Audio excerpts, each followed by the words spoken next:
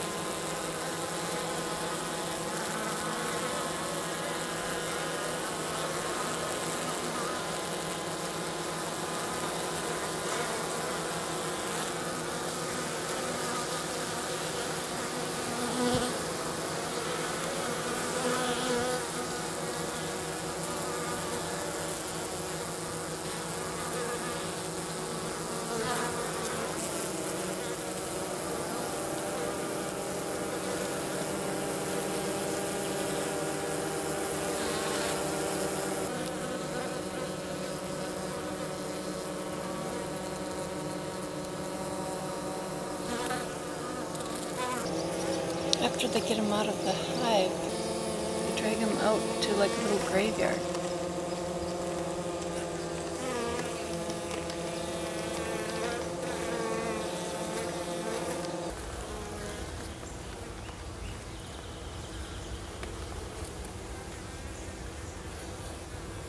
This is the bee graveyard, I'm calling it, where they're just putting the dead bees out on the ground in front of the hive.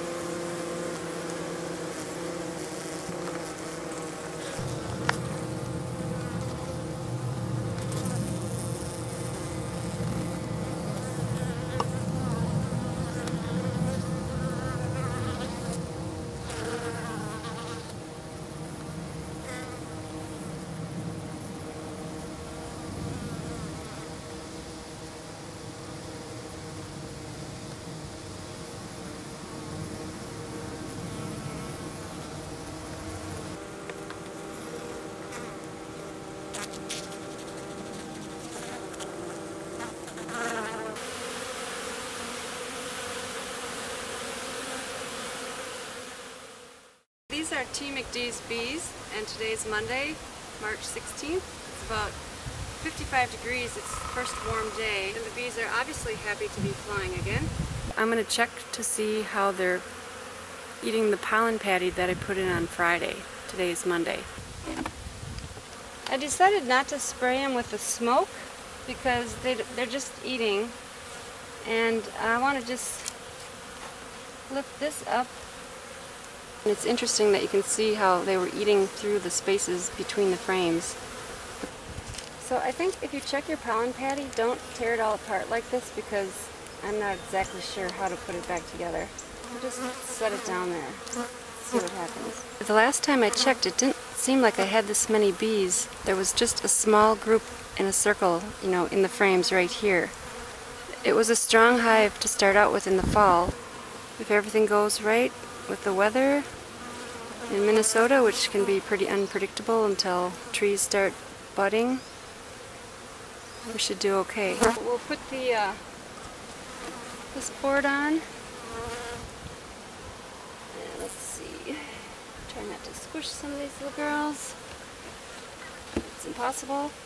If you're a first year beekeeper, I advise you not to put it right next to a big tree because I was told after I had this all set up that it's probably not a good idea. And I'm going to put this paper board in here, moisture board, in case we do get some more freezing and thawing. Helps absorb their body heat, body sweat. And one more tip if you're a new beekeeper, it's probably a good idea to put your hive on a flat surface. Have a great day.